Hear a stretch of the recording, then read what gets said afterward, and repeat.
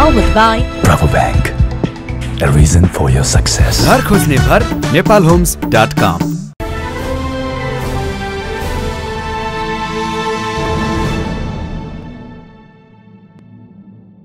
नमस्कार प्रश्नमा तपाईँलाई हार्दिक स्वागत छ। म राजेन्द्र मानिया। आज यक्ष प्रश्न सोचौँ नेपाल राष्ट्र ब्याङ्कका गभर्नर महाप्रसाद अधिकारीलाई। स्वागत छ सर कार्यक्रममा। धन्यवाद यहीबाट सुरु गर्छु। साँच्चै अन्तर्वार्ताहरूमा चाहिँ अलि विरल। तपाईँको यो कार्यकाल हेऱ्यो भने सार्वजनिक सञ्चार माध्यमहरूमा नेपाल राष्ट्र ब्याङ्कले जारी गर्ने निर्देशनहरू नेपाल राष्ट्र ब्याङ्कबाट दिनुपर्ने सूचनाहरू पत्रकार सम्मेलनहरू मार्फत या अन्य सार्वजनिक कार्यक्रममा बोले बाहेक अन्तर्वार्ताहरूमा चाहिँ अलिक विरल हुनुहुन्छ तपाईँ। आज तपाईँसँग हामी एक सय प्रश्नका लागि जुटेका छौँ। म तपाईँको विगतबाट सुरु गर्छु। नेपाल राष्ट्र ब्याङ्कमै त्यही ठाउँमा झन्डै तिन दशक सेवा गर्नुभयो।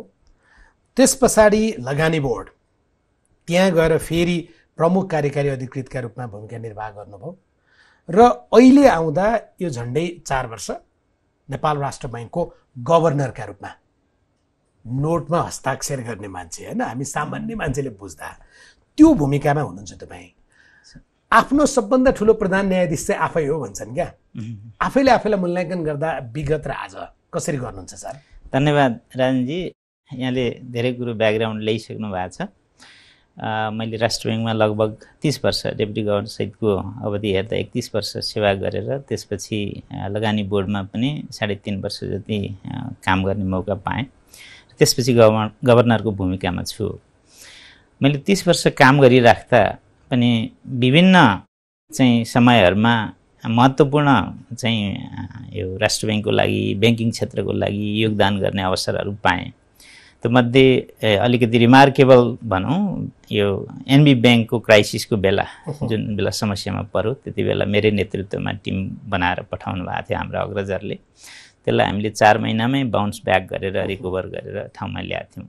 त्यस्तै कैयौँ कामहरू गर्ने ब्याङ्किङ क्षेत्रको सुधारको लागि काम गर्ने मैले अवसर पाएँ। त्यो चाहिँ राज्यले दिएको एउटा अवसर हो सोसाइटीले दिएको अवसर हो। र ती प्रत्येक अवसरलाई मलाई जहाँसम्म लाग्छ म एकदमै आत्मा सन्तुष्टिका साथ भन्न सक्छु। अँ, पूर्णतः मैले प्रयोग गर्न पाएको छु। त्यसै गरी लगानी बोर्डमा रहँदा पनि एउटा मलाई नौलो खालको अनुभव भयो। त्यो चाहिँ खास गरी सरकारी निकाय हो। प्रधानमन्त्रीज्यूले नि अध्यक्षता गर्ने निकाय हो बल्ल तिन चारजना प्रधानमन्त्री त्यति अवधिमा पनि हुनुभयो। पनि के भयो त भन्दा मैले त्यहाँनिर प्रोजेक्टहरूको प्रिपरेसनको काम प्रोजेक्टहरूको प्रोफाइल बनाउने काम अनि लगानीलाई कसरी इन्करेज गर्ने निजी क्षेत्रसँग कसरी काम गर्ने निजी क्षेत्रका समस्या के के हुन् बाहिरका लगानीकर्ताका समस्या के के हुन् उनका चाहना के रहन्छन् उनले के के कन्सटेन्टहरू देखिरहेछन् यी सारा कुरालाई अध्ययन गर्ने एउटा अवसर थियो त्यो मलाई। सँगसँगै दुईवटा लगानी सम्मेलन पनि भयो त्यो अवधिमा। ती सम्मेलनले पनि एक खालको भाइब्रेसन नेपालमा लगानीको अवसरहरूको बारेमा दियो। त्यो पनि मेरो लागि नयाँ अनुभव र नयाँ अवसर थियो आफ्नो लागि। अब त्यसपछि म यहाँ आइराख्दाखेरि फेरि राष्ट्र ब्याङ्कमै आइराख्दाखेरि मेरो लागि अत्यन्तै परिचित पुरानो एक्ज्याक्टली थलो चाहिँ पुरानो। मेरो मातृ संस्था तर चाहिँ जिम्मेवारी चाहिँ लिडरसिपको जिम्मेवारी। मलाई पहिले अग्रजले पनि भन्नुहुन्थ्यो तपाईँहरूले लिड गर्न सक्नुहुन्छ यो संस्था। हामी अरू ब्रडर किसिमले हेर्न पनि सक्छौँ भन्ने कुरा गर्नुहुन्थ्यो। नभन्दै यो जिम्मेवारी मैले पाएँ। तर जिम्मेवारी पाइराख्दा कस्तो बेला पाएँ भन्दा ठ्याक्कै कोभिड हामीले लकडाउन चैत्र एघार गते गरेका थियौँ। मैले यो जिम्मेवारी चैत्र चौबिस गते पाएँ। लकडाउनको बिचमै पाइयो। बिचमै पाइयो। त्यसले गर्दा धेरै नै चुनौतीपूर्ण अवस्था थियो। सबै कुरो बन्द थियो मोबिलिटी थिएन उद्योग धन्दाहरू सबै बन्द थिए सटरहरू सबै बन्द थिए।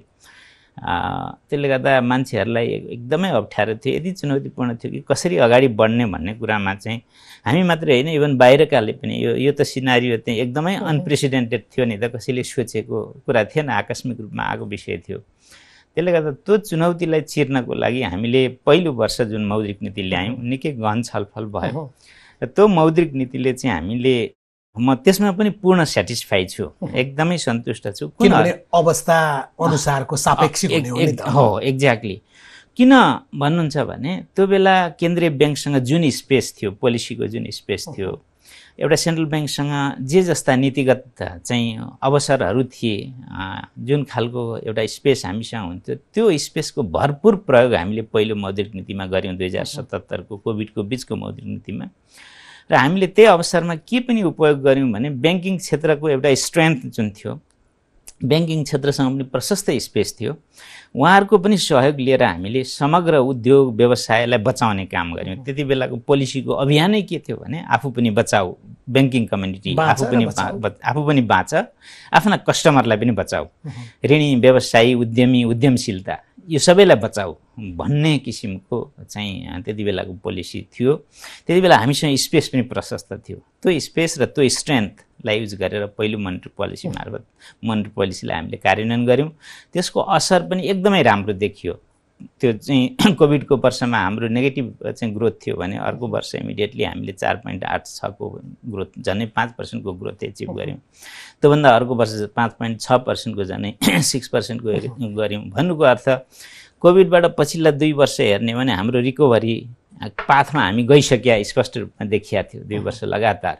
जुन कुरा अरू मुलुकहरूको हेरियो भने त्यो खालको ग्रोथ त्यो खालको सेप हामी पाउँदैनौँ। होइन त्यो त्यस त्यो अर्थमा पनि हामी चाहिँ त्यो त्यति बेलाको पोलिसीबाट राम्रो काम राम्रो उपलब्धि हामीले हासिल गरे जस्तो लाग्छ। भनेको तपाईँलाई गभर्नर साहब यस्तो लाग्छ हरेक गभर्नरलाई या हरेक पदमा जाने मानिसलाई यदि ऊ असल नियतको छ भने आफ्नो कार्यकाल र आफूले त्यो पुरा गरेर जाँदाखेरिमा कम्तीमा पनि आफ्नो नाम भोलिका लागि एउटा सन्दर्भका रूपमा प्रयोग होस्।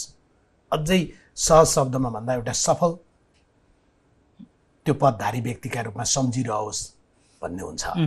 आज यो ठाउँमा आइपुग्दा आफैले भन्दा चाहिँ कतिपय मानिसहरू म तपाईँका बारेमा प्रश्न चिन्ह राखेर सोधेको देख्छु। तपाईँ कतै असफल गभर्नर हुने बाटोमा हुनुहुन्न? तपाईँलाई त त्यो चाहना छैन। तपाईँलाई लाग्छ तपाईँ सफल गभर्नरको बाटोमा हुनुहुन्छ? यो चाहिँ म अहिले यसको पूर्ण उत्तर चाहिँ दिन्न। मेरो कार्यकाल सक्। बाँकी छ। म सकिरा कार्यकाल सकिराख्दाखेरि हामी सम्पूर्ण डकुमेन्टेसनहरू होइन राष्ट्र ब्याङ्कको नेतृत्वले राष्ट्र ब्याङ्कको टिमले यो कार्यकालमा गरेका कामहरू हामी पस्किने नै छौँ र मूल्याङ्कन गर्ने सोसाइटीले स्टेक होल्डरले नै हो। तर यति भनिराख्दा म यहाँको उत्तरलाई चाहिँ के चाहिँ भन्न चाहन्छु भने यो केन्द्रीय ब्याङ्कको सफलता अथवा असफलता होइन कुनै समुदाय कुनै ग्रुपले मूल्याङ्कन गरेर चाहिँ हुँदैन। किन भन्दा केन्द्रीय ब्याङ्क यस्तो संस्था हो कि केन्द्रीय ब्याङ्कले यदि पपुलर हुने गरी कुनै निर्णय गरिराख्छ भने त्यो केन्द्रीय ब्याङ्कले आफ्नो म्यान्डेटमा आफ्नो उद्देश्यमा कहीँ कतै कम्प्रोमाइज गरिरहेको हुन्छ। यस अर्थमा यो पोलिटिसियन जस्तो पपुलारिजम चाहिँ केन्द्रीय ब्याङ्कको चाहिँ उद्देश्य हुँदैन।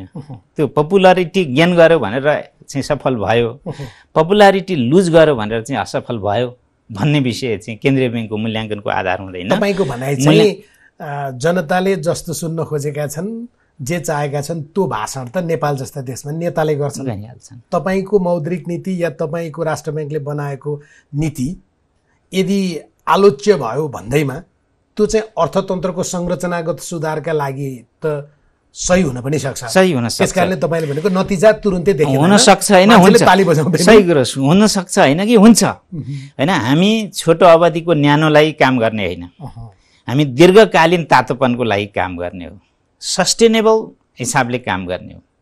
कि यस अर्थमा पनि राष्ट्र ब्याङ्क सफल अथवा असफल अथवा नेतृत्व सफल अथवा असफल भन्ने कुरा राष्ट्र ब्याङ्कका अब्जेक्टिभ के के हुन्? केन्द्रीय ब्याङ्कका अब्जेक्टिभ के के हुन्? होइन हामीले मूल्य स्थिरता कायम गर्न सकेनौँ कि हामीले समग्र बाह्य क्षेत्र स्थिरता स्थायित्व कायम गर्न सकेनौँ कि? ब्याङ्किङ क्षेत्र स्थायित्व काम कायम गर्न सकेनौँ। यी तिनवटा कि स्थायित्व जुन छन् जुन चाहिँ यो ग्रोथको लागि रोजगारीको लागि सस्टेनेबल डेभलपमेन्टको लागि यो प्रिरिक्विजिट एक किसिमले। ती कुरा चाहिँ जुनसुकै बेला केन्द्रीय ब्याङ्कले एकदम कन्जर्भेटिभ हिसाबले काम गर्छ केन्द्रीय ब्याङ्क नर्मली। ती कुरा गर्न ऊ सक्षम छ कि छैन गरिरहेछ कि छैन ती तथ्याङ्कहरूले मूल्याङ्कन गरिनुपर्छ। न कि केही एउटा स्वार्थ सबैको हुन्छ। होइन? त्यो स्वार्थ पुरा नभएको आधारमा नीति आलोचना गर्छ। आलोचना गरेको आधारमा होइन? अनि त्यो चाहिँ पोलिसीमा इन्टरभेन्सन गर्ने प्र्याक्टिस सबैतिर हुन्छ यहाँ मात्रै म भन्दिनँ। तर त्यसलाई इन्टरटेन गर्ने कि नगर्ने भन्ने कुरा महत्त्वपूर्ण हुन्छन्। इन्टरटेन गरेन भनेकै आधारमा चाहिँ त्यो विरोध हुनु त्यस त्यसको आधारमा मूल्याङ्कन हुनु चाहिँ सही हुँदैन। तर मूल्याङ्कन गर्ने चाहिँ बाह्य व्यक्ति नै हो म होइन केही दिन अगाडि तपाईँका केही अग्रजहरूले गभर्नरैहरू त होइन तर अर्थतन्त्र जान्ने अग्रजहरूले समेत गभर्नर महाप्रसाद अधिकारीको कार्यकालका पछिल्ला मौद्रिक नीतिहरू चाहिँ अलिक कडा भए अलि बढी कठोर प्रकारका भए लचिलो या निजी क्षेत्र मैत्री भएन। एकजनाले त मुखै खोलेर आइएमएफ अन्तर्राष्ट्रिय मुद्रा कोषको दबाबमा तपाईँ यसो गरिरह भनेर तपाईँको नियतमाथि पनि प्रश्न उठाउनु भयो यसलाई अलिक प्रश्न गरिदिनुहुन्छ? यस्तो म कोही अब व्यक्ति अग्रजहरू व्यक्तिमा माथि मा माथि म चाहिँ यो कमेन्ट गर्न चाहन्न। आफ आफ्नो धारणा हो आफ्नो बुझाइ हो होइन? मेरो चाहिँ एउटै अनुरोध जोसुकैले भनिराख्दाखेरि राष्ट्र ब्याङ्कको नीतिमाथि कमेन्ट गरिराख्दाखेरि कुन चाहिँ नीति गलत भयो त? त्यो नीति स्पेसिफिक भइदियो भने हामीले पनि सुधार गर्न सजिलो हुन्छ। त्यो नीति बनिराख्दाखेरि हामीले ल्याएको नीतिको प्रत्येकको औचित्यता हामीले एनालाइसिस गरेर ल्या हुन्छौँ। होइन? अहिलेलाई हाम्रो नेपालको सबभन्दा ठुलो कमजोरी के छ भने भिडले धेरै कुरा लिड गरिरहेछ। होइन? इभन पोलिसीहरू पनि भिडले लिड गरिरहेछ। हामीले देखिरहेछौँ कैयौँ विकृतिहरू यो कारणले निम्तिरहेछन्। हामीले यो कुरो सच्याउनुपर्छ अब हाम्रो अग्रजहरू अथवा नेतृत्वहरू खास गरी पोलिटिकल नेतृत्वहरूको के हुन्छ सोचाइ भन्दा भिडलाई लिड गर्ने उहाँहरूले हो। अनि भिडले के भनिरहेछ त्यो कुरो सुन्न चाहनुहुन्छ? स्वभावैले। अनि त्यो कुरो रिफ्लेक्सन हुन्छ बजारमा। तर हामी केन्द्रीय ब्याङ्क जस्तो संस्थामा बस्ने पोलिसी मेकरहरूले के कुरो सोच्नुपर्छ भने उहाँहरूले भनिरहेको कुरो सही छ कि छैन त यसले दीर्घकाल हित गर्छ कि गर्दैन। पोलिटिसियनले सर्ट टर्म गेन हेर्छ। अहिले पनि हामी सुन्छौँ चौरासी होइन? चौरासी हेर्छ। तर चुनाव भएको एक डेढ वर्ष भएको छैन चौरासी सुरु भइसक्यो। सुरु भइसक्यो। उसले सर्ट टर्म गेन हेर्छ। लङ टर्म पेन उसलाई वास्ता हुँदैन। हामीले के हेर्ने हो त भन्दा बरु सर्ट टर्ममा हामी पेन लिने हो। दीर्घकालमा गेन हुनुपर्छ राज्यलाई अर्थतन्त्रलाई भन्ने हिसाबले हामी काम गर्ने हो। त्यसले गर्दा यहाँले भनिराख्नु भएको कुनै पनि व्यक्तित्व मलाई लाग्छ उहाँहरू राजनैतिक व्यक्तित्व हो। उहाँहरू राजनीतिमा हुनुहुन्छ कोही पक्षमा हुनुहोला कोही प्रतिपक्षमा हुनुहोला। उहाँहरूको सोचाइ के हुन्छ भने राजनीतिले भनेको गभर्नर चाहिँ राजनीतिक पक्षधर्ताको हुँदैन र सर नेपालमा किनभने कुन- अर्थमन्त्री या सरकार फेरिएपछि सक्दा पछिल्लो दिनमा चाहिँ त्यो अलिक कम देखिया छ नत्र चाहिँ गभर्नर पनि राजनीतिक नियुक्ति गर्ने देश हो नि त यो। सो गभर्नरको पोस्ट राजनीति चाहिँ होइन होइन? तर के भने कुनै न कुनै अब सरकारको नेतृत्व त राजनीतिले नै गरिरहेको हुन्छ कुनै पार्टीले नै गरिरहेको हुन्छ। त्यसकारण अब गभर्नर पनि त्यो नास्तिक अथवा कुनै आस्थै बिनाको हुन्छ भन्ने त होइन। एक ठाउँ ठाउँमा भोट त हाल्छ नि गभर्नरले पनि नहाल्ने होइन। तर आफ्नो काम कारवाहीमा उसले त्यो राजनीति रिफ्लेक्ट गर्दैन। उसका राजनीतिका केही उछन् भने पनि उसको जुत्ता बाहिरै रहन्छ। भला मान्छेहरूले आक्षेप लाउने सिलसिलामा आफ्नो किसिमले लाउँछन्। तर आफ्नो काममा हामीले त्यो आस्था रिफ्लेक्ट काहीँ पनि गर्न हुँदैन र हाम्रो दिमागको एउटा कुनामा पनि त्यो कुरो रहँदैन काम गरी गभर्नर राजनीतिक नियुक्ति गर्ने पद होइन। होइन होइन। ऊ राजनीतिक व्यक्ति होइन। होइन बिल्कुल होइन। अर्को एक कुरा उठाएको थियो त्यसको पनि जवाफ तपाईँले अहिले दिए राम्रो हुन्छ जस्तो लाग्छ। नेपाल राष्ट्र बैङ्क आफू चाहिँ या त्यसको नेतृत्व चाहिँ अर्थ मन्त्रालयप्रति भन्दा अन्तर्राष्ट्रिय मुद्रा कोषप्रति चाहिँ बढी वफादार हुने बस हो यहाँनिर एउटा धेरैबाट यो कुरो मैले सुने। अस्ति हामी टियुमा पनि एउटा प्रोग्राम गरिराख्दा अग्रजहरूले यो कुरा उठाउनु भयो तर म चाहिँ के भन्न चाहन्छु भने चाहे अन्तर्रा अन्तर्राष्ट्रिय आइएमएफ भनौँ अथवा वर्ल्ड ब्याङ्क भनौँ अथवा अरू कुनै पनि हाम्रा चाहिँ डेभलपमेन्ट पार्टनरहरू होइन भनौँ उहाँहरूको मैले बुझेसम्म चाहिँ मैले पनि लामो सङ्गत उहाँहरूसँग गरेँ। कहिले पनि आफूले लाद्ने कुरो जबरजस्ती कुरा केही पनि हुँदैन। जुन बेला हामी प्रोग्राम रिक्वेस्ट गर्छौँ उहाँहरूलाई हामीलाई केही सहायता दिनुहोस् भन्छौँ केही ऋण दिनुहोस् भन्छौँ। त्यो गरिराख्दा उनीहरूका आफ्ना आफ्ना सिस्टम हुन्छन् आफ्ना प्र्याक्टिस हुन्छन् आफ्नो चाहिँ भित्री म्यानेजमेन्टको चाहिँ निश्चित प्रक्रिया हुन्छ कि यो यो प्रोग्राममा देशलाई छिराइराख्दाखेरि देशले चाहिँ निश्चित रिफर्म गर्नुपर्छ है। निश्चित कुराको कमिटमेन्ट हुनुपर्छ है देशको रिफर्ममा भन्ने हुन्छ।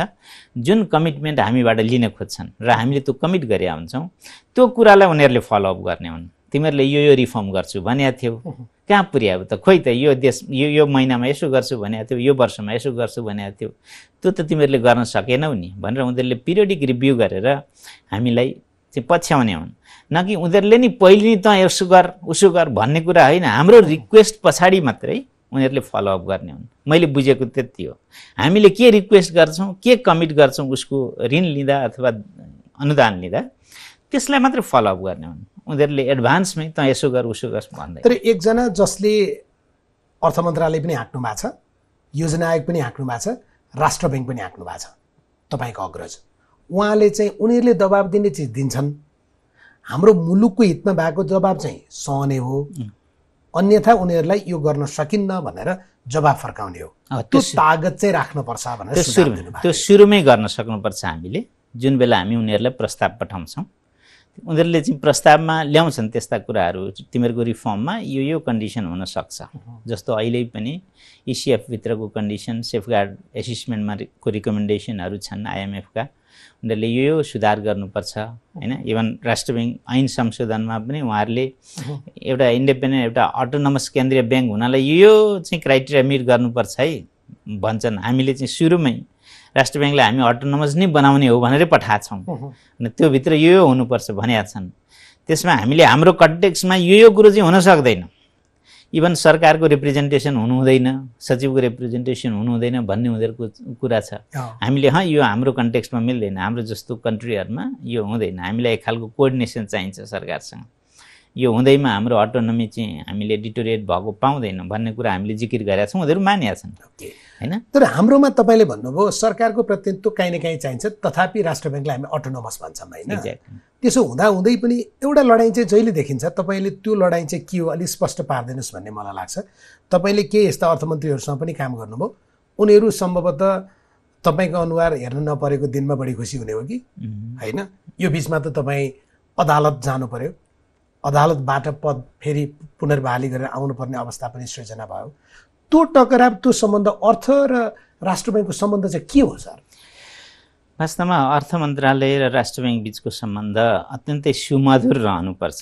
राष्ट्र ब्याङ्कको बोर्डमा अर्थ सचिव पदेन चाहिँ सदस्य रहनुहुन्छ। हाम्रो मौद्रिक कमिटीहरू छन् त्यसमा अर्थ मन्त्रालयको प्रतिनिधि रहनुहुन्छ। हामीले चाल्ने स्टेपहरू अनि मन्ट्री म्यानेजमेन्टका स्टेपहरूमा अर्थ अर्थ मन्त्रालयको प्रतिनिधित्व रहन्छ। बोर्डले गर्ने डिसिजनमा अर्थ मन्त्रालयको सचिवै रहनुहुन्छ। यो यो ऐनबाट पनि यो खालको स्ट्रक्चर राम्ररी बनिएको छ र एक आपसमा हाम्रो सौहार्द सम्बन्ध नै रहन्छ। होइन हाम्रो सम्बन्ध राम्रो रहनु हुँदैन एक आपसमा चाहिँ लडाइँ गर्नुपर्छ अथवा एकले अर्कालाई असफल बनाउनुपर्छ एउटाले अर्काको खुट्टा तान्नुपर्छ भन्ने हामीले कुनै दिमागको कुनै कर्नरमा पनि राख्न हुँदैन। होइन? यो यो संरचनाले त्यो परिकल्पना गरे पनि छैन। र वास्तवमा पोजिसनमा बस्ने मान्छेले त्यो सोच्नु पनि हुँदैन। तर कहिलेकाहीँ हाम्रो सोसाइटी यस्तो छ कि आउँछ यस्ता कुराहरू। मैले पनि भोगेँ। अब त्यो विगतको कुरा थियो त्यसलाई धेरै कोट्याउनु राम्रो पनि हुँदैन र त्यो पर्टिकुलर केस जुन कानुनी का के अरे लिटिगेसनमा जानु पऱ्यो त्यो अहिले पनि विचाराधीन छ। त्यसमा म धेरै कमेन्ट गर्न चाहन्न। अब त्यसमा धेरै फ्याक्टरहरू हुन सक्छन् के भएर त्यो घटना एउटा गभर्नर नियुक्त हुन्छ। तपाईँ मात्रै होइन तपाईँभन्दा अगाडिका डक्टर चिरञ्जीवी नेपालको कुरा होला या तपाईँको कुरा होला नियुक्त त एउटा सरकारले गर्छ। तपाईँहरूको राजनीतिक आस्था त्यहाँ नहुँदा अर्को हुन पनि सक्ने भयो होइन? तर त्यसैलाई आधार बनाएर अर्थमन्त्री या सरकारका मान्छे तपाईँसँग चाहिँ हमेसा जोरी जोरी खोज्ने या तपाईँ चाहिँ आफ्नो आस्थालाई अगाडि ल्याएर सरकारसँग जोरी खोज्ने अवस्था भयो भने त अन्तत दुःख पाउने त अर्थतन्त्रले र जनताले हो नि त। त्यो हुनु हुँदैन। त्यो हुनु हुँदैन र मेरो के अरे के अरे सन्दर्भमा भन्नुहुन्छ भने हामी चाहिँ कुनै हिसाबले पनि त्यसरी हाम्रो सोचाइ नै रहँदैन। जुनसुकै बेला पनि राज्यलाई सरकारलाई हामीले सहयोग गर्नुपर्छ भन्ने मान्यताले नै काम गर्नुपर्छ। र राष्ट्र ब्याङ्कको सन्दर्भमा यहाँ बाहिर जति कुरा उठे पनि कुनै एउटा कुरो पर्टिकुलर कुरो बताउन सक्नुहुन्छ कि राष्ट्र ब्याङ्कले यहाँनिर सहयोग गरेन भनेर? त्यो त ती अर्थमन्त्रीले भन्नुपर्छ त्यही। अर्थमन्त्रीले चाहिँ गभर्नरका कारण अर्थतन्त्र अप्ठ्यारोमा पर्यो भनेर सार्वजनिक भाषण गरेका छन्। त्यो त्यसैले यो अर्थतन्त्रका चरहरू सबै केलाउँ न होइन? जस्तो अर्थतन्त्रमा एउटा चाहिँ फाइनेन्सियल सेक्टर छ अर्को एक्सटर्नल सेक्टर छ अर्को मन्ट्री र ब्याङ्किङ के अरे मन्ट्री सेक्टर छ अर्को चाहिँ रियल सेक्टर छ फिजिकल छ यी मध्येमा हाम्रो भनौँ न एक आपसको समन्वय नभएको अथवा चाहिँ अर्थ मन्त्रालयले राष्ट्र ब्याङ्कलाई असहयोग गरेको राष्ट्र ब्याङ्कले अर्थ मन्त्रालय अथवा सरकारलाई असहयोग भएको कुन चाहिँ कुनै एउटा पोइन्ट पाउँ न त्यो चाहिँ अब भनौँ न कुनै कुराको प्राइस अथवा मार्केटले डिटर्माइन गरेको रेट त्यो आदि इत्यादि त त्यो गभर्नरले बनाएको पनि होइन अर्थमन्त्रीले बनाएको पनि होइन। त्यो त बजारले तय गरेको कुरा हो। समग्रमा नीतिगत रूपमा चाहिँ सर जस्तै तपाईँले भन्नुभयो राष्ट्र ब्याङ्कमा अर्थ मन्त्रालयको सचिव या अर्थ मन्त्रालयका पदाधिकारीहरू त्यहाँका विभिन्न समितिहरूमा हुने कार्यदलमा हुने छँदैछ होइन? राष्ट्र ब्याङ्कले चाहँदाखेरिमा अर्थ मन्त्रालय अर्थव्यवस्था या सरकारलाई सफल र असफल बनाउन सक्छ? हुँदैन त्यो। त्यो त्यो चाहिँ सम्भवै हुँदैन। किनभने सरकारको राज्यको आफ्ना योजना आफ्ना कार्यक्रम हुन्छन्। आर्थिक नीति त उसैले बनाउँछ। उसैले बनाउने हो त्यो कार्यान्वयन गर्ने हो। होइन राज्यसँग चाहिँ यत्र पच्चिस पच्चिसवटा मन्त्रालय छन्। अहिले अब सात सातवटा प्रदेश छन् होइन सात सय त्रिपन्न निकायहरू भए होइन सरकार भए। उहाँहरूले आफ्नो आफ्नो योजना आफ्नो आफ्नो कार्यक्रम आफ्नो आफ्नो बजेट त कार्यान्वयन गरिराख्नु भएकै छ नि। त्यसमा त राष्ट्र ब्याङ्कको केही रोल रहँदैन।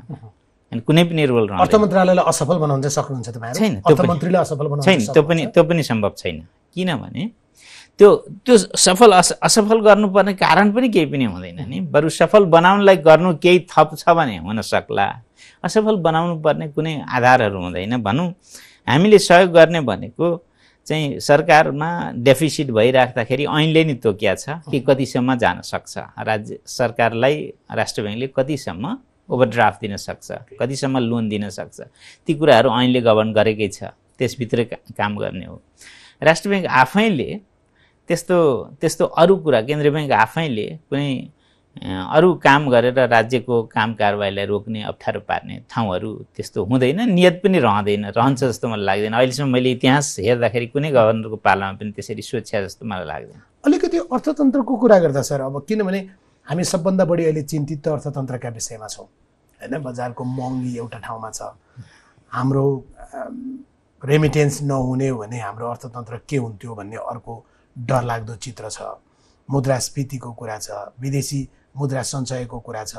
यी सबै कुरा गर्दै गर्दा एउटा राष्ट्र ब्याङ्कमा बसेर ती इन्डिकेटरहरूमा हामी जसरी हाम्रो चाहिँ एमसिआरमा बस्ने साथीहरूले चाहिँ सबै बटनहरू तलमाथि गर्नुहुन्छ थिच्नुहुन्छ त्यो गर्ने ठाउँमा तपाईँ हुनुहुन्छ।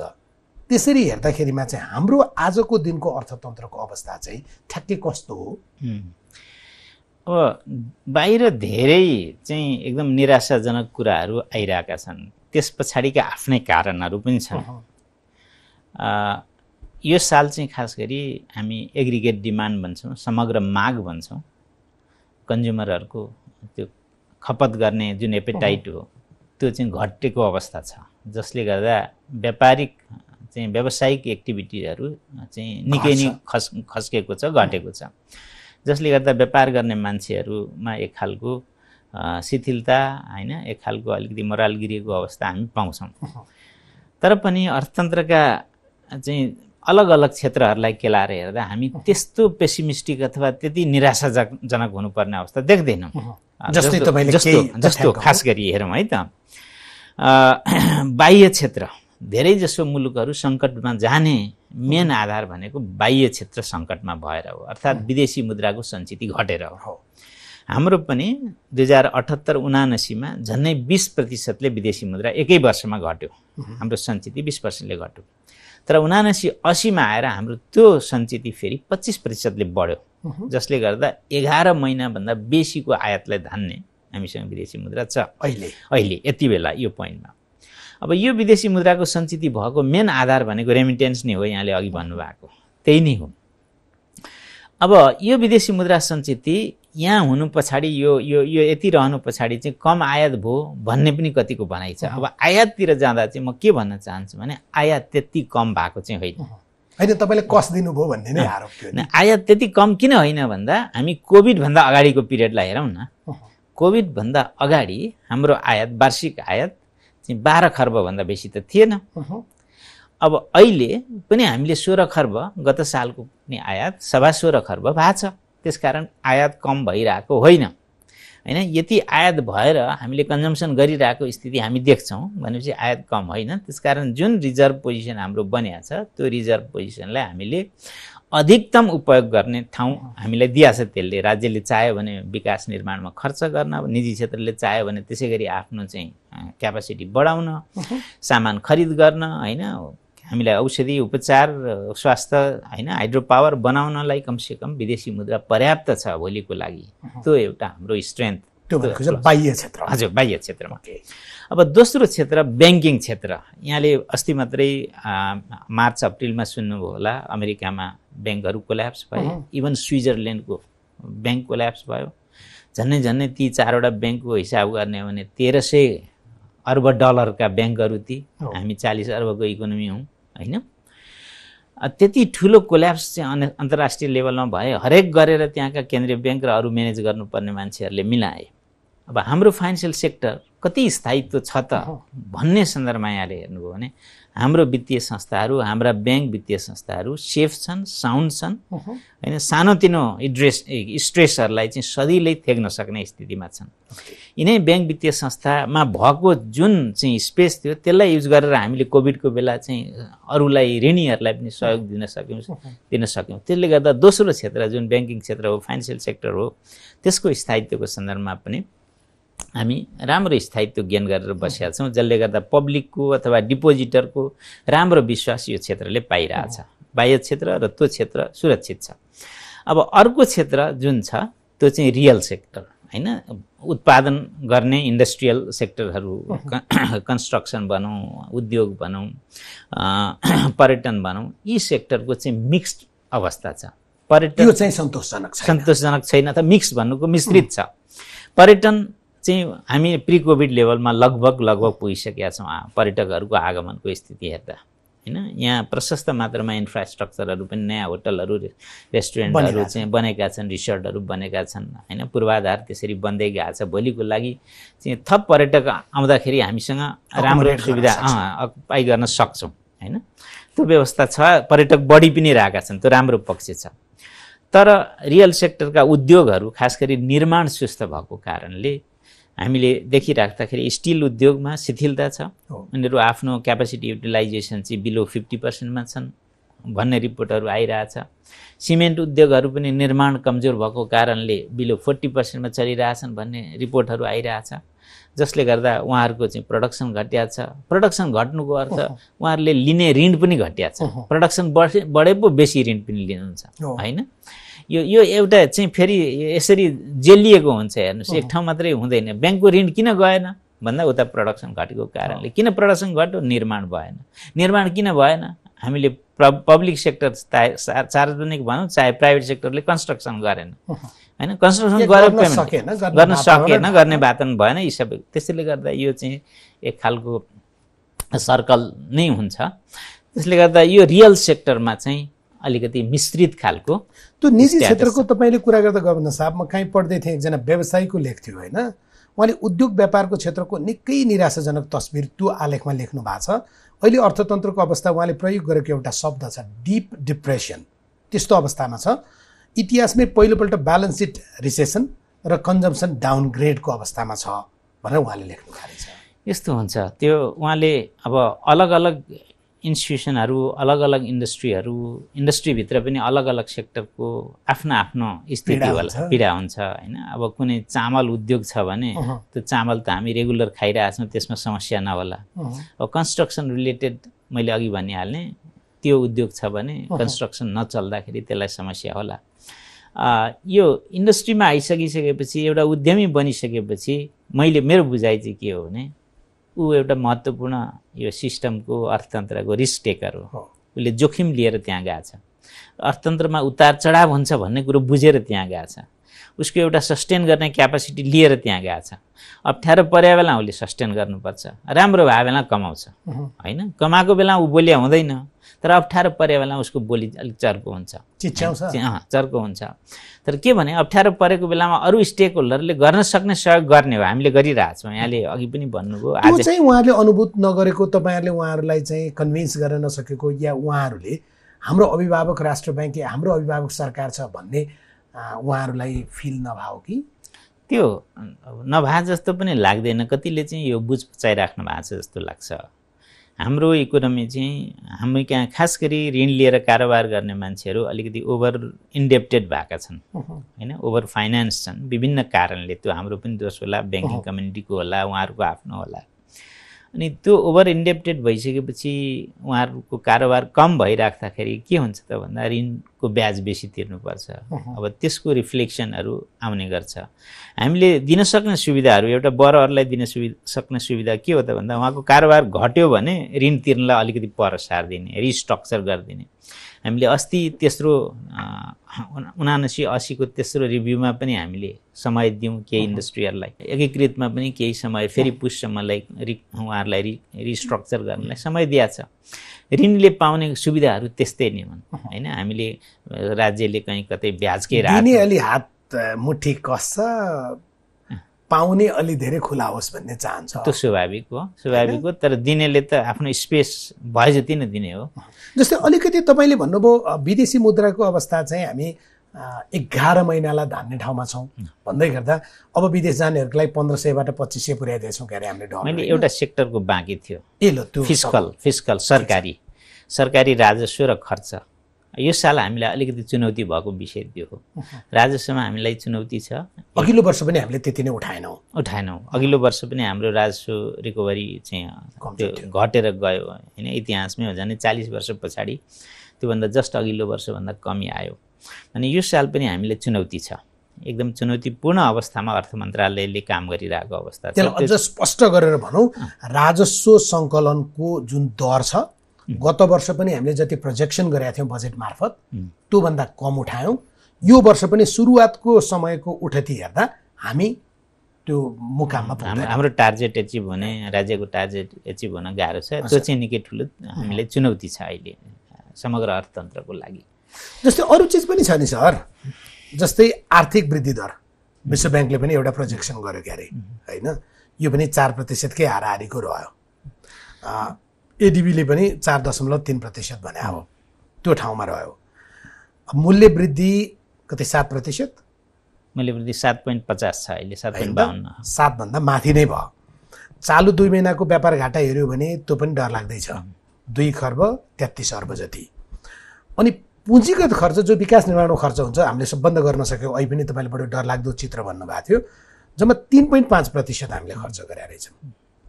अनि फेरि तपाईँ के भनिरहनु भएको छ भने हुन त तपाईँ आशावादी मान्छे हो सकारात्मक मान्छे हो त्यही भन्नुपर्ने ठाउँमा हुनुहुन्छ। त्यति धेरै नडराउँ भन्नुभएको छ क्या। यी सूचकहरूलाई कसरी सुधार्ने त? यस- एउटै सूचकहरूमा चाहिँ केही सूचकहरू समस्या छन् स्वाभाविक हो। जस्तो पुँजीगत खर्च हाम्रो आजको मात्रै कमी होइन। हामी हिस्टोरिकल्ली हामीसँग केही समस्या छन् हाम्रो मेसिनरीमा समस्या छ हाम्रो प्रोसेसमा समस्या छ हाम्रो प्रोक्युरमेन्टमा देखि लिएर दुनियाँ कुरामा समस्या छ जसले गर्दा समयमा कहिले पनि खर्च हुन सकेको छैन। गत साल निकै बेसी खर्च गरे भने बासठी पर्सेन्ट गत साल। अब त्यसलाई नबढाइकन वास्तवमा अरू कुराहरूमा पनि चाहे मार्केटको लिक्विडिटी भनौँ अरू कुरालाई पनि त्यसले असर गरिरहेछ हाम्रो विकासलाई पनि असर गरिरहेछ। एकदम स्वाभाविक कुरो ल्याउनु भयो। अब इन्फ्लेसनको सन्दर्भमा चाहिँ के छ त भन्दा हामी कहाँको इन्फ्लेसन इन एन एभरेज विगतको बिसौँ वर्षको यहाँले हेर्नु भने सात पर्सेन्टको अराउन्ड नै छ। हामी धेरै तल बस्न सकेका छैनौँ। हामी कहाँको इन्फ्लेसन फेरि भला केन्द्रीय ब्याङ्कको म्यान्डेट चाहिँ प्राइस स्ट्याबिलिटी भए पनि हाम्रो मनी सप्लाईकै असर स्वरूप प्राइस प्राइस चाहिँ धेरै माथि तल जाने गरेको हामी पाउँदैनौँ होइन? एउटा रोल प्ले गर्छ मनी सप्लाईले तर त्योभन्दा पनि सप्लाई साइडबाट डिमान्ड साइडभन्दा पनि सप्लाई साइडको चाहिँ इन्टरभेन्सन बेसी छ इम्पोर्टेड चाहिँ प्राइस बेसी छ हाम्रो। भारतको मूल्य वृद्धि कस्तो हुन्छ अन्तर्राष्ट्रिय स्तरमा कस्तो हुन्छ त्यसले बेसी हामी कहाँ गभर्न गरिरहेछ। फेरि हामी कहाँ मूल्यमा धेरै कन्ट्रोल छैन त्यस कारण व्यापारिक मार्जिनले पनि धेरै गभर्न गर्छ हामी कहाँमा मूल्यमा। त्यो सात बाहन्न भनेको त्यति ठुलो चाहिँ होइन तर हाम्रो हामीले सोचेको हामीले अनुमान गरेको भन्दा चाहिँ बेसी नै हो। त्यसलाई हामीले कन्टेन गर्नुपर्छ। यता टु द एक्सटेन्ट भनौँ न हाम्रो सेन्ट्रल ब्याङ्कले गर्ने विषयसम्म अहिलेसम्म हाम्रो मनी सप्लाई त्यस्तो बेसी भएर माग बढेर आएको होइन। हाम्रो अर्को समस्या भनिरहेको छौँ भनिरहेका छौँ माग कम हो भनेर। फेरि चाहिँ राष्ट्र ब्याङ्कले पैसा पठाएर माग बढायो भने त छैन त यहाँ त अवस्था छैन। त्यसकारण हाम्रो रोलभन्दा पनि अरू अरू विषयले बेसी त्यहाँ असर गरेको छ। अर्को तपाईँले नछुवाको या छुन बाँकी रहेको क्षेत्र भने चाहिँ यो सेयर बजार। होइन? त्यहाँ चाहिँ अलि बढी निराशा हो हुन त तपाईँहरूले एकीकृत निर्देशिकामा पनि त्यो विषयलाई केही सम्बोधन गर्नुभएको छ। सेयर बजार चाहिँ एकदमै धेरै हामी निराश भयौँ। अझ के भनिएको थियो भने केही अगाडि अर्को अर्थमन्त्री हुँदा एउटा उछाल आयो। अब त्यो अर्थ चाहिँ उहाँहरूले किन भन्नुभयो मलाई थाहा छैन। यो अर्थमन्त्री आए पछाडि चाहिँ अघि नै बढेन भन्ने थियो भने यो तपाईँहरूसँग पनि ठोकिने विषय हो। त्यहाँ भा चाहिँ के हो? यो चाहिँ अब मैले पनि धेरै अब सेयर बजारको खास रेगुलेसन गर्ने एजेन्सी उता अर्कै छ धितोपत्र बोर्ड। होइन उहाँहरूले सेयर होल्डरहरूको प्रोटेक्सनको लागि सेयर होल्डरहरूको चाहिँ त्यो दीर्घकालीन हितको लागि गर्ने कार्यक्रमहरू कार्ययोजनाहरू त्यहीँबाट आउँछ। हामीसँग चाहिँ धेरै गाँसिएको विषय केसँग छ भन्दा ऋणसँग। होइन सेयरको लागि ऋण लिने विषय हामी तपाईँले सीमा कस्दिनु भएको थियो? त्यो त अहिले अलिक खुला हाम्रो हाम्रो अब पोलिसी राज्यको पोलिसी चाहे यहाँले चाहिँ विगतदेखिकै सरस्वती हेर्नुभयो भने नीति तथा कार्यक्रममा पनि हामीसँग भएको सीमित स्रोत साधनहरूलाई उत्पादनमूलक क्षेत्रमा लगाउने र हाम्रो यो जकडिएको जुन चाहिँ एउटा स्ट्रक्चरल प्रब्लम छ रेमिटेन्स आउने त्यसैले इम्पोर्ट गर्ने अनि त्यसैले खाने त्यही इम्पोर्टमा राजस्व असुल्ने र राज्य क्षेत्र हो त्यो। अनि राज्य चलाउने होइन? हाम्रो अहिलेको आर्थिक स्ट्रक्चर त यही हो। यसबाट बाहिर निस्कनलाई हामीले कुनै न कुनै खालको चाहिँ डिस्रप्सन त गर्नु छ। त्यो डिस्रप्सन भनेको हाम्रो हामीले आन्तरिक उत्पादन बढाएर अनि इम्पोर्टलाई सब्स्टिट्युट नगरिकन अरू उपाय छैन। त्यसको लागि हामीसँग भाषा भाका चाहिँ उत्पादनहरू के अरे रिसोर्सेसहरू स्रोतहरू चाहिँ उत्पादनमा लाउनु पऱ्यो कृषिमा लाउनु पऱ्यो कृषि उत्पादनमा लाउनु पऱ्यो अथवा अरू सानातिना उद्योगहरूमा लाउनु पऱ्यो जसले गर्दा इम्पोर्ट चाहिँ सब्स्टिट्युसन सिग्निफिकेन्टली हुन्छ। र हाम्रो आन्तरिक स्रोत साधन प्राकृतिक स्रोत साधनको बढीभन्दा बढी उपयोग गरेर हामी आयातलाई कम गर्न सक्छौँ भन्ने उद्देश्यका साथ हामीले नीति बनाएका छौँ चाहे नीति तथा कार्यक्रम भन्नुहोस् चाहे बजेट भन्नुहोस् चाहे राष्ट्र ब्याङ्कको मौद्रिक नीति हेर्नुहोस् एउटा प्यारा प्रत्येक वर्ष परेकै हुन्छ र हामी त्यही डाइरेक्सनमा छौँ त्यसकै कार्यान्वयनमा छौँ। अब त्यो कार्यान्वयन गरिराख्दाखेरि ब्याङ्कसँग भएको रिसोर्सेस अर्थात् पब्लिकले दुःख गरेर रेमिटेन्स पठाउनेले दुःख गरेर पठाएको पैसा हामीले कहाँ प्रयोग गर्ने त? सुरक्षित क्षेत्रमा सुरक्षित। क्षेत्रमा सुरक्षित भन्दा पनि उत्पादन दिने क्षेत्रमा प्रयोग गर्नु पर्यो होइन मैले यो भनिराख्दाखेरि सेयर बजार चाहिँ उत्पादनै नगर्ने भन्ने होइन। त्यहाँ उठेको पैसा पनि जाला होइन ब्याङ्कमै जान्छ। केही अर्थविदले त यो शब्द प्रयोग नगरे पनि हुन्छ होइन। त्यसलाई त जुवा घरे भन्नुहुन्थ्यो नि। केही कुनै न कुनै म त्यसै त नभनौँ। त्यो कुनै न कुनै किसिमले त्यो फेरि ब्याङ्कमै जान्छ। ब्याङ्क मार्फत फेरि चाहिँ उत्पादनमा जाला त्यो आफ्नो ठाउँमा छ। तर के त भन्दा अहिले केही व्यक्तिहरूलाई नाफा कमाउनु पर्यो भन्दैमा ठुलो रकम त्यहाँ दियो र भोलि एउटा हाइड्रो गर्ने मान्छेले पाएन एउटा माछा पाल्ने मान्छेले लोन पाएन दिन सकेन भनेको उत्पादनशील क्षेत्रमा लाउने अँ, मान्छे लाउने मान्छेले पाएन। भने त्यो हाम्रो लागि अर्को चाहिँ समस्याको विषय हुन्छ होइन? तपाईँ एउटा ठुलो दबाबमा पर्नुभयो होइन? किनभने तपाईँको जुन बाह्र करोडको सिलिङ थियो नि मैले केही मानिसहरूसँग यो विषयमा कुरा गरेका थिएँ। उहाँले मलाई दिएको जवाब चाहिँ सेयर बजारकै मान्छेको जवाब चाहिँ के थियो भने रायनजी व्यक्तिगत मेरो नाफा घाटाका लागि हेर्नुहुन्छ भने चाहिँ यो सिलिङ बढाउन जरुरी छ। तर राष्ट्रको हित र जनता र अर्थतन्त्रको हितका लागि हो भने चाहिँ गभर्नर महाप्रसाद अधिकारीको यो कदम चाहिँ सही छ भन्नुभएको थियो। त तपाईँ गल्नु भएछ। यस्तो अब के के हुन्छ भने अब सारा सोसाइटी सबैजना लाग्नुभयो यसमा होइन? र हामीले नीतिगत नीति या सचमा धेरै हामी डेभिएसन चाहिँ भएको छैनौँ। हामी फिगर अलिकति चेन्ज गऱ्यौँ बाह्रलाई पन्ध्र गऱ्यौँ। पन्ध्रलाई अनि बाह्रलाई फेरि संस्थागतलाई बिस गऱ्यौँ। बाह्रै थियो त्यो पनि। तर लिमिट त कायम छ। त्योभन्दा बेसी लिन पाइँदैन होइन? बाह्र कुनै एउटा नम्बर त्यस्तो साइन्स बेन्चमार्क पनि थिएन। होइन? त्यो तेह्र पनि हुनसक्थ्यो होला त्यति बेला हामीले बाह्र तय गऱ्यौँ। पन्ध्रै पनि त्यति बेलै पनि हुनसक्थ्यो होला। त्यसले गर्दा नम्बर अलिकति बढाउँदैमा त्यस्तो अब अरूको सम्बन्ध नै के अरे कतिपय स्टेक होल्डरको कुरा सम्बोधन हुन्छ भने किन नगरौँ त भनेर हामीले हो। तपाईँको मनले मानेको तर समग्र समग्र नीतिमा चाहिँ हामीले चेन्ज गरेका छैनौँ। नीति चाहिँ त्यही नै हो कि ऋणमा आधारित भएर त्यो मार्केट चल्नु हुँदैन। त्यो मार्केटलाई चाहिँ ऋणमुक्त गराउनुपर्छ। वास्तवमा त्यो मार्केटलाई सही किसिमले लाने हो भने। त्यो मार्केट ऋणमा डिपेन्ड हुन्जेलसम्म के हुन्छ भने बजारमा अलिकति ब्याज दर बढ्यो त्यहाँ रातै अलिकति ब्याज दर घट्यो त्यहाँ हरिए। होइन? अनि कुनै पोलिसी ब्याङ्किङ पोलिसी ल्याउँदा त्यहाँ असर परिरहेको हुन्छ। त्यसले गर्दा यो यो ब्याङ्किङ त्यस्तो हुँदैन। हुँदैन थियो। त्यसले गर्दा अन्यत्र यहाँ म उदाहरण दिन्छु। हजुरलाई कस्तो छ भने इन्डियामै आरबिआईले जुन बेला हर्षद मेहताको काण्ड भयो नाइन्टिन नाइन्टी टूमा त्यसपछि उहाँहरूले दस लाखको लिमिट राख्नु भएको छ। अहिले दस लाख मात्रै पाइन्छ ऋण ऋणमा सेयर किन्नलाई ऋण लिएर सेयर किन्नलाई। हामीले यति ठुलो लिमिट राखिरहेछौँ क्रमशः यो भोलिको दिनमा मार्जिन ट्रेडिङ भन्ने कन्सेप्ट छ त्यहाँ। त्यो लागू गर्यो। धितोपत्र बोर्डले स्टक एक्सचेन्जले भने। यो यो खालको प्र्याक्टिस घट्दै जान्छ भन्ने हाम्रो एजम्सन हो। ठिक छ। तर फर द टाइम बिङ अघि पनि मैले भने नि भिडले लिड। अब भिडलाई कहिलेकाहीँ मान्नुपर्छ। त्यसैले गर्दा केही जस्ता विज्ञ जसलाई थाहा छ यो गलत हो भन्ने त्यो हुँदा हुँदै आत्मसमर्पण गर्ने ठाउँमा पुग्नु पर्दो रहेछ। होइन नीतिगत हिसाबले हामी त्यहीँ छौँ पन्ध्र करोड बिस करोडको सीमा कायमै छ। थ्रेसोल्ड मात्रै अलिकति।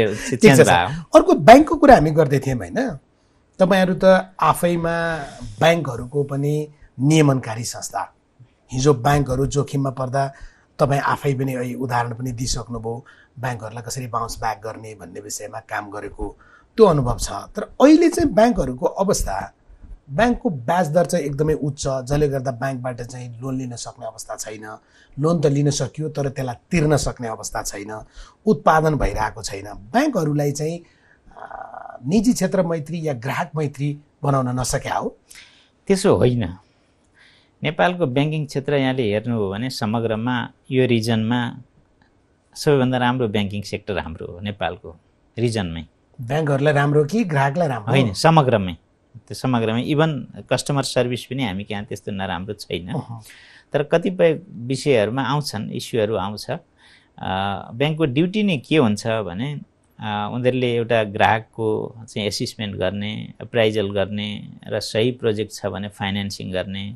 फाइनेन्सिङ गरिराख्दाखेरि त्यो फाइनेन्सिङ त उनीहरूले डिपोजिटरको पैसाबाट दिया हो। उनीहरू त मध्यस्थकर्ता कर्ता मात्रै हो। अब त्यो फाइनेन्स गरिएको कस्टमरले तिर्न सकेन भने उसलाई एउटा समय निश्चित समय दिने फेसिलिटेट गर्ने त्यो पनि सकेन भने लागेको राखेको धितो चाहिँ लिलाम गर्ने। तर हाम्रो सोसाइटी कस्तो भने लिलाम चाहिँ गर्नै हुँदैन। होइन? मैले पैसा पाछु होइन? मलाई अभियानै चलाएको ब्याङ्कले लुट्यो ब्याङ्कले बेसी लियो जब कि हामीसँग भनेको चोरो। चोरो। हामीसँग चाहिँ यो ग्रिभान्सेसको मेकानिजम एकदम राम्रो छ। प्रत्येक ब्याङ्क वित्तीय संस्थामा ग्रिभान्स ह्यान्डलिङ सेल हुन्छ। राष्ट्र ब्याङ्कमा पनि त्यत्तिकै इफेक्टिभ छ। हामीले चाहिँ पोर्टल पनि राखेका छौँ ग्रिभान्सेसको लागि। त्यो पोर्टलको चाहिँ आउटकम यस्तो राम्रो छ। नाइन्टी एट पर्सेन्ट चाहिँ ग्रिभान्सेसहरू एड्रेस भएको छ। थ्रु पोर्टल अनलाइन नै।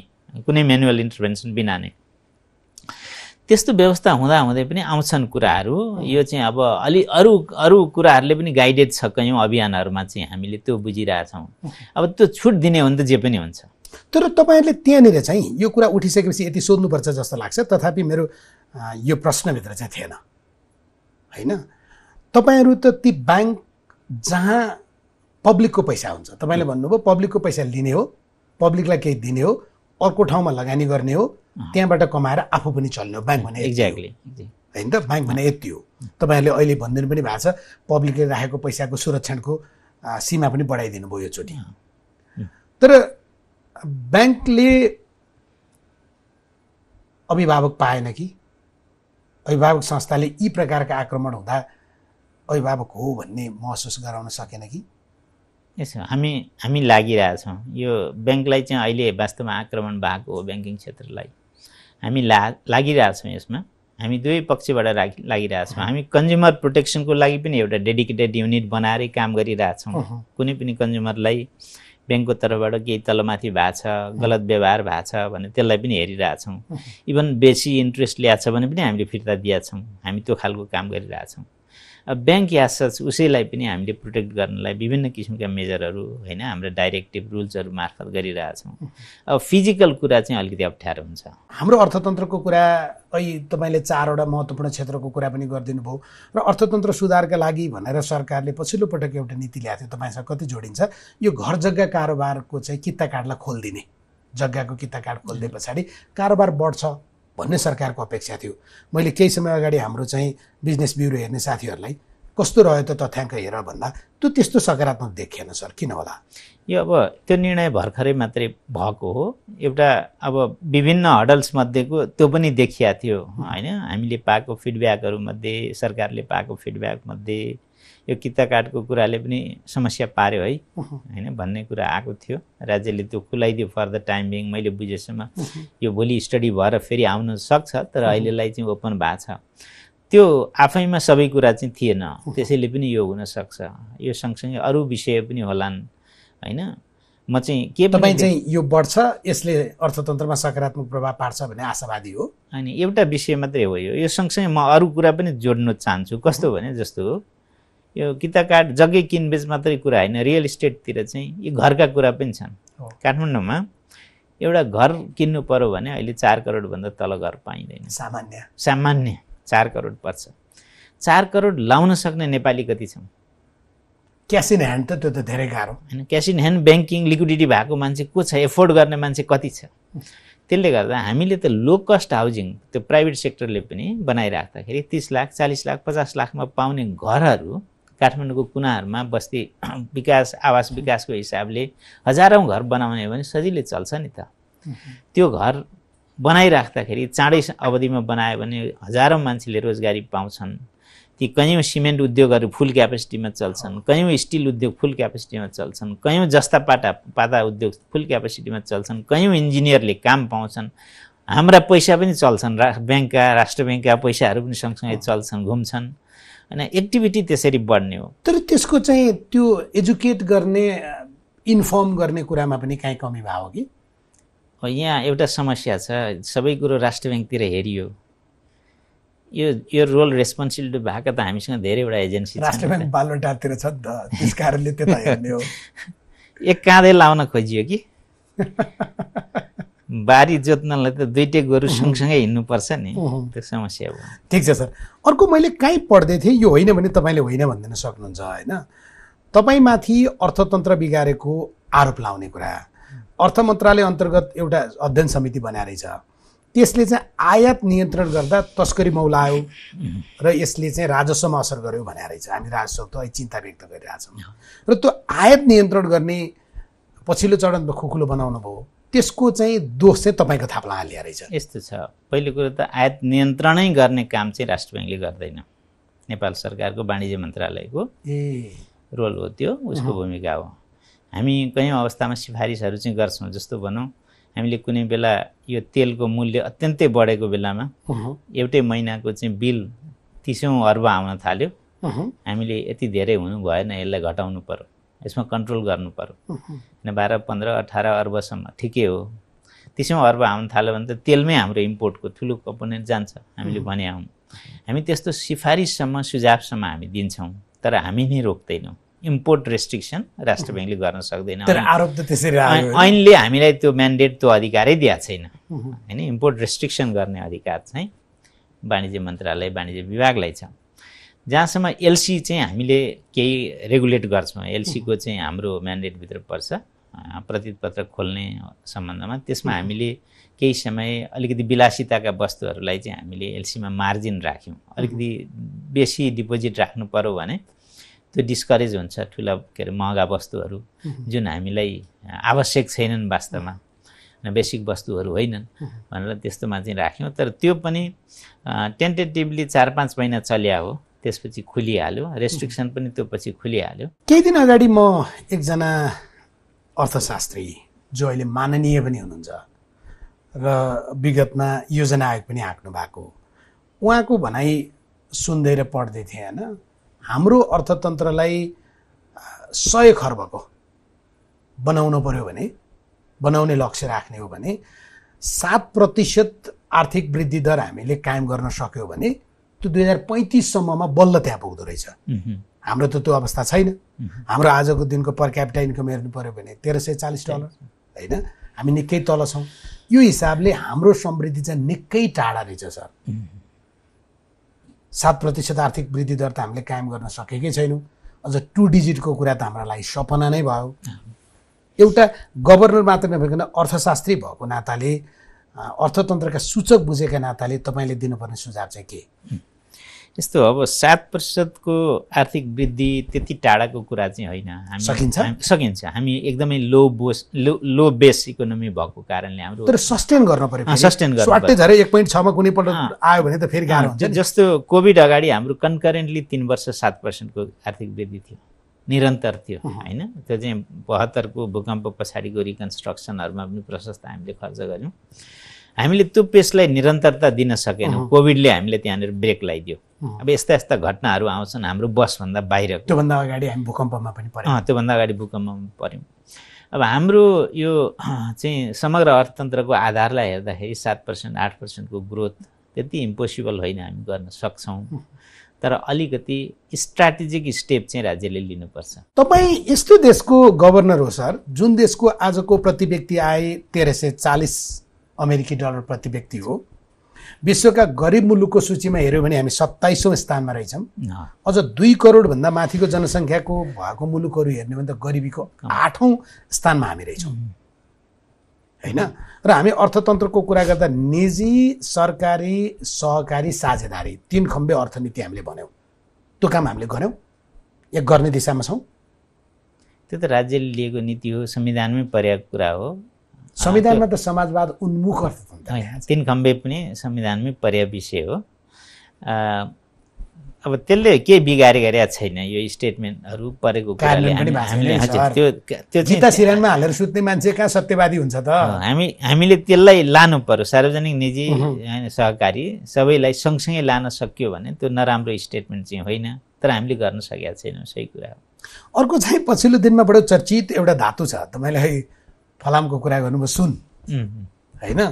सुनको दैनिक चाहिँ तपाईँहरूले आयातलाई दस किलोबाट बढाएर बिस बनाइयो। बिस किलो पुर्याइदिनु भयो। त्यसले चाहिँ के हाम्रो अर्थतन्त्रको आकार अलि अब हाम्रो किनबेच बढेको आवश्यकता धेरै भएको डिमान्ड एन्ड सप्लाईको रुल हुन्छ नि होइन? के बताउन खोजे त्यो चाहिँ? यस्तो यहाँ अब हामी सबैले सरसर्ती हेर्दा सुन भन्ने एकदम विलासी वस्तु हो। भन्ने बुझ्छौँ। तर यो सुनभित्र पनि काम गर्ने मान्छे धेरै छन्। धेरै पसलहरू छन्। पूर्व मेची बिर्तामोडदेखि लिएर पश्चिम धनगढी होइन डडेलधुरा जानुभयो भने प्रशस्त पसलहरू पाउनुहुन्छ त्यसलाई ठुँगेर बनाउनेहरू। लाखौँ मान्छे इन्गेज छन्। इन्डियाबाट मात्रै सत्तरी हजार लेबर सुनमा काम गर्छन् यहाँ। त्यति धेरै मान्छे काम गरिरहेछन्। र त्यो सुनमा काम गर्ने एसोसिएसनहरूको भनाइ के छ भने दैनिक हाम्रो आवश्यकता त्यो चालिस किलो हो। उहाँ बारम्बार उहाँहरूको त्यो आइरहेको छ र हामीले अगाडि पनि सुन चाहिँ इन एन एभरेज प्रत्येक वर्षको हेऱ्यौँ भने पर डे बिस किलो दिइरहेको हो। कोभिड अगाडि पनि प्रत्येक वर्ष। कुनै बेला तिस किलो पनि दिएका छौँ बिस किलो दिइरहेको हो। हामीले कोभिडको बेला जुन बेला चाहिँ कोभिड पछाडि हाम्रो यो चाहिँ फरेन एक्सचेन्ज अलिकति घटेर गयो त्यति बेला हामीले दस किलोमा झाऱ्यौँ। के भयो त भन्दा यो बिचमा घटनाहरू यहाँहरूले देखि नै हाल्नुभयो स्मग्लिङ चाहिँ व्यापकै भयो। त्यो स्मग्लिङ भइराख्दाखेरि व्यापक चर्चा परिचर्चा के भयो त भन्दा फर्मल आउने कुरो रोकियो। कम त्यो भयो। कम भयो। कम भयो। चाहिने भन्दा कम भयो। त्यो चाहिने जति दिएको भए कमसेकम राजस्व त आउँथ्यो। राजस्व पनि नआउने। मानव तैँले चाहिँ घाँटी न्याग्दिया कारणले गर्दा यता स्मग्लिङ भयो। होइन हामीले उतापट्टि रोक्नुपर्ने त्यो त्यो त्यो त त्यो कम्प्लेन त सही छैन। होइन कुनै हालतमा पनि स्मग्लिङ त दिनु भएन नि त हामीले। राज्य प्रशासनले दिनु भएन गर्नु त्यसलाई त रोक्नु पर्यो। अनि अब जस्टिफिकेसन यसरी भयो भइरहेछ कि यो चाहिँ कम भयो। कमसेकम राजस् राजस्व आउँथ्यो। भन्ने कुरा भइसकेपछि र पुरानो अवस्थाहरू पनि हेर्दाखेरि बिस किलो चाहिँ स्वाभाविकै वर्षौँ वर्षदेखि दिइरहेको भएकोले हामीले केही वर्ष मात्रै यो दस किलो एक्सर्साइज गरेको हुनाले हामीले बिसमा लग्यौँ उयो पुरानो व्यवस्थालाई हामीले रिभर्स गरे मात्रै हौँ। कुनै एक्स्ट्रा चाहिँ दिएको होइन। र मार्केटको निड पनि छ। यो यो बिस किलो के हुन्छ भने त्यसको आदि काठमाडौँका चाहिँ सुन पसलहरूले प्रयोग गर्नुहुन्छ। आदि देशव्यापी रूपमा जान्छ। बाँड्ने मेकानिजमहरू छ सबै। यो प्रयोग गरेर गहनाहरू बनाएर बेच्नुभयो भने यो आर्थिक क्रियाकलाप एउटा सेक्टरको क्रियाकलाप बढ्छ पनि। त्यसले गर्दा यसलाई पनि हामीले त्यस्तो नकारात्मक हिसाबले हेर्नु भएन। एउटा रेगुलेटिङ बडीमा बसेर त्यसको जस अपजस बोक्ने ठाउँमा बसेर हेर्दाखेरिमा चाहिँ अर्थतन्त्र श्रीलङ्काको बाटोमा जाँदैछ भन्ने एउटा पछिल्लो दिनमा जुन भाषावली प्रयोग गरिदिएको छ नि शुक्रबार अर्थमन्त्रीले त बोलिसक्नुभयो सुधार उन्मुख छ त्यस्तो होइन भनेर। तपाईँ नि त्यस्तै बोल्नुहुन्छ? होइन बिल्कुल हाम्रो त यो बिल्कुल फरक संरचना हो त्यो श्रीलङ्का पाकिस्तानहरू भन्दा होइन?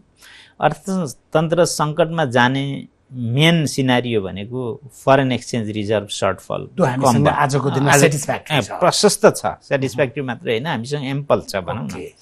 होइन त्यो नपुगेर बाहिरको ऋण तिर्न नसकेर इम्पोर्ट बिल धान्न नसकेको अवस्था हो खासमा। आन्तरिक कुराहरूले सङ्कटै भन्न मिल्दैन। होइन रिपिटेडली हाम्रो चाहिँ सङ्कुचनमा गयो अर्थतन्त्र नेगेटिभ ग्रोथ भयो भने डेफिनेसनहरूले ल्याउँछ त्यो कुरो। तर श्रीलङ्का पाकिस्तान जस्ताको केस भनेको उहाँहरूको सिनारियो भनेको चाहिँ के हो त भन्दा उहाँहरूले बाहिरबाट लिएको ऋण तिर्न नसके अवस्था हो। त्यसकारण उहाँको सिनारियो र हाम्रो सिनारियो बिल्कुल फरक छ। उहाँहरूको चाहिँ ऋण तिर्न नसक्या हाम्रो आन्तरिक उत्पादन आन्तरिक डिमान्ड घटेको अवस्था। त्यसले गर्दा उहाँहरूसँग कम्पेयर गर्नै मिल्दैन हामी फरक छौँ। जुन यसरी तपाईँले हेर्ने भने त्यसो भए एउटा सहज नर्मल इन्डिकेटर्स अफ द हाम्रो ट्रेजरी भनौँ न अर्थतन्त्रको चाहिँ नर्मल इन्डिकेटरमा आउन चाहिँ अब हामीलाई कति समय लाग्छ? धेरैवटा इन्डिकेटर समस्यामा छैनन्। होइन मैले भनिहालेँ चारवटा सेक्टर मध्ये होइन? भनेको एकदम यो दुईटा ठिक एकदम ठिक छ एउटा सेटिस्फ्याक्ट्री एउटा एउटा एउटा प्रब्लम प्रब्लमेटिक होइन? त्यसले गर्दा अब राज्यको रेभेन्यूसँग रिलेटेड जुन कुरा छ त्यसमा चाहिँ हामीले अलिकति रिफर्म गऱ्यौँ भने राज्यको एजेन्डा पनि छ सरकारको एजेन्डा पनि छ रिफर्मको होइन? त्यो हुनेसाथ त्यो सेक्टर पनि ठाउँमा आउँछ। र ग्रेजुअली इकोनोमिक एक्टिभिटी बढाउने काम हामीले गऱ्यौँ भने जुन त्यो मिश्रित छ रियल सेक्टरको होइन उद्योग व्यवसाय घटेको अवस्था जुन छ त्यो पनि ठाउँमा आउँछ। र कन्जम्सन भन्ने कुरो चाहिँ यो अलिअलि रोटेट हुने कुरा हो। बिस्तारो सुधार हुन्छ माग वृद्धि हुन्छ। यति इम्पोर्ट भइरहेको देख्दाखेरि चाहिँ त्यति कन्जम्सन साह्रै कम छ जस्तो पनि मलाई लाग्दैन। अन्तिममा गत बिहिबार एकीकृत निर्देशिका ल्याइदिनु हजुर। त्यो अहिले किन आवश्यक थियो? यस्तै एकीकृत निर्देशिका चाहिँ हामी अध्यावधिक गर्छौँ नर्मल्ली। भनेको यो चाहिँ पिरियोडिक पिरियडिक प्रत्येक वर्ष संशोधनहरू ल्याउनु प्रत्येक वर्ष आउँछ। हामी नर्मली फर्स्ट क्वार्टरमा ल्याउँछौँ। मौद्रिक नीति साउन्डमा आउँछ। मौद्रिक नीतिको इम्प्लिमेन्टेसनमा विभिन्न सर्कुलरहरू यो बिचमा आइरहेका हुन्छन्। ती सबै सर्कुलरलाई हाम्रो मेन कम्पेडियम जुन हो त्यसमा हामी समावेश गर्छौँ। ती सर्कुलरलाई समय समावेश गरिराख्दाखेरि हामी यो निकाल्दा एउटा अवसर पनि प्रयोग गर्छौँ कि केही एमेन्डमेन्टहरू छ भने पनि सँगसँगै हामी ल्याउँछौँ। त्यसरी त्यो आवश्यकता हो। हाम्रो प्लानभित्रकै हो। यो कुनै सरप्राइज बिचमा अचानक आएको चाहिँ। तपाईँले तपाईँको कार्यकालमा जति दस्तावेजहरू सार्वजनिक गर्नुहुन्छ मौद्रिक नीति सार्वजनिक गर्नुहुन्छ पेरियोडिक रिभ्यूहरू सार्वजनिक गर्नुहुन्छ यो सबै भनेको चाहिँ राज्यको सम्पत्ति हो। एक्ज्याक्टली होइन? किनभने तपाईँमाथिको लगानी र तपाईँले राज्यलाई छोडेर जाने दस्तावेजहरू हो। तपाईँको आफैले निकालेको चाहिँ कोभिडको त्यो बेलाको मौद्रिक नीति र आजसम्मको मौद्रिक नीति। आइपुग्दा चाहिँ मैले गजब गरेँ। मेरो मौद्रिक नीति चाहिँ इतिहासमा सम्झन लायक छन्। त्यस्तो लाग्छ? एकदम पर्फेक्टली लाग्छ। किनभने अब त्यो मूल्याङ्कन गर्ने त बाहिर अरू स्टेक होल्डरले नै हो फेरि पनि। तर ममा कति सेल्फ सेटिस्फ्याक्सन छ भन्ने कुरा यहाँले सोध्नु भएको हो भने म फुल्ली सेटिस्फाइड छु। पहिलो मौद्रिक नीति मैले अघि पनि भनिहालेँ बाँचा र बचाउको अभियान थियो। त्यसको रिजल्ट हामीले त्यति बेलै पाइसक्यौँ। भला कतिपयले ओभर फाइनेन्सिङ भयो बेसी पैसा बजारमा गयो भन्ने कुराहरू ल्याउनुहुन्छ। त्यो बाँच्ने बचाउने सिलसिलामा थियो। त्यसले बचाएको डेटाहरूले प्रमाणित गरिसकेका छ। दोस्रो मौद्रिक नीतिबाट हामी चाहिँ समग्र ब्याङ्किङ सेक्टरको रिफर्ममा लाग्यौँ। रिफर्म पेनफुल हुन्छ।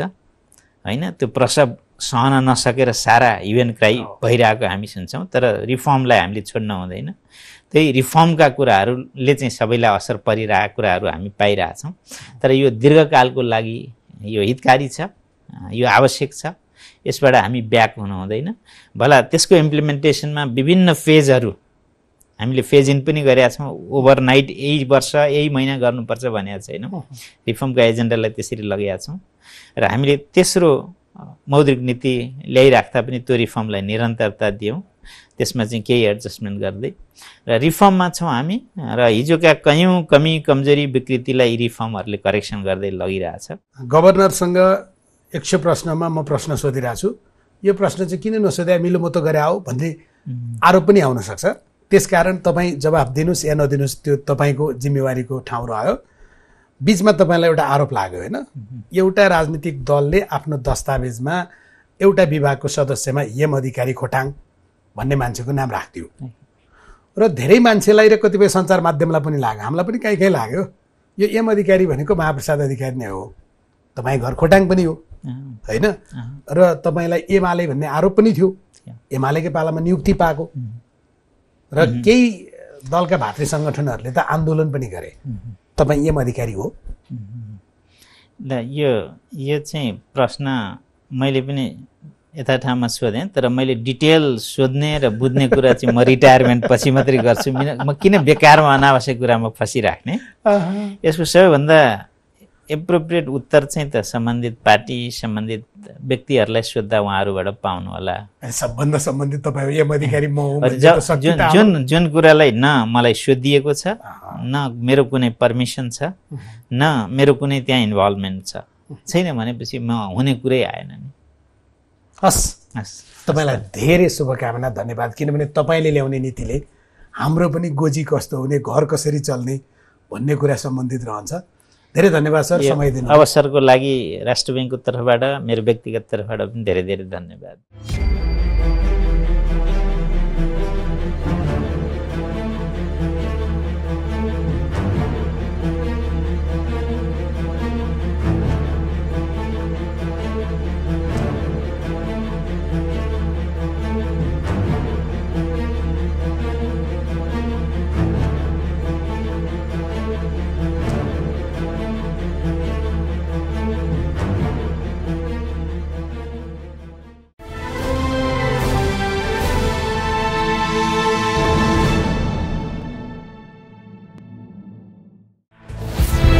By Bravo Bank.